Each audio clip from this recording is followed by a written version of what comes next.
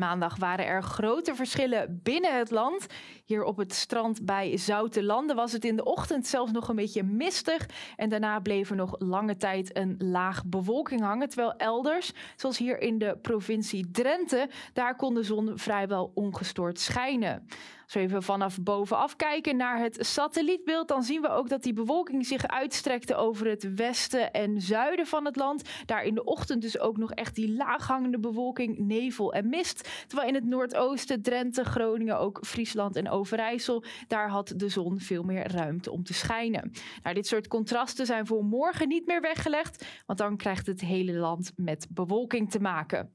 Vanmiddag kunnen er vooral in de oostelijke helft van het land nog wat buien ontstaan, maar die trekken in de avond weg naar het oosten. De bewolking neemt toe en in de loop van de nacht gaat het op steeds meer plaatsen regenen. En kijk even morgenochtend rond een uur of zeven heeft vrijwel de hele Randstad al met die regen te maken. En dat trekt maar heel langzaam weg naar het noordoosten, wat betekent dat we morgen gewoon een grotendeels bewolkte en regenachtige dag hebben. En ook woensdag zien we alweer nieuwe neerslaggebiedjes in de modelverwachting verschijnen. En ook dan is het alles behalve droog te noemen.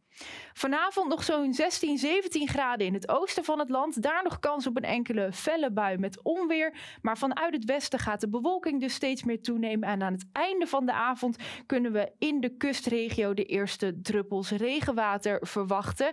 En vannacht dan trekt dat regengebied langzaam richting het oosten. En door die bewolking is het ook alles behalve koud. Met een minimumtemperatuur van 12 graden. De wind draait naar het zuidwesten en die zwelt daarbij ook geleidelijk al wat aan.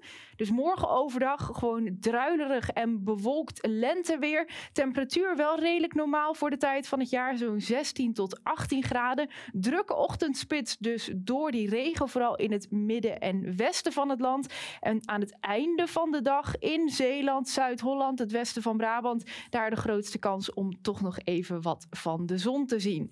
Wind uit het zuidwesten, matig van kracht. Nou, woensdag ook vrij wisselvallig met verspreid over het land wat buien of enige tijd regen. Vanaf donderdag wordt het geleidelijk wat droger. En zaterdag gaan we dan weer die 20 graden aantikken. Maar tot die tijd gewoon wisselvallig met vrij normale temperaturen.